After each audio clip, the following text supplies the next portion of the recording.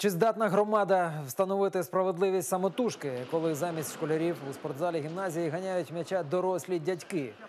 Батьківський комітет 318-ї Київської гімназії висловлює обурення позицією спортклубу Барс. Його очільники проявили бізнесову спритність.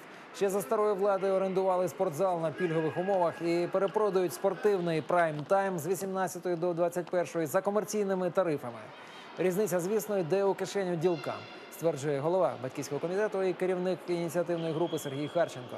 На його думку, у бізнесменів можна було б зрозуміти, якби вони допомагали школі, але вони жодним чином не реагують на сигнали громади. Мы подали запросы, мы спросили, так может быть район или город имеет от этой компании спортивный клуб «Барс» какие-то отчисления.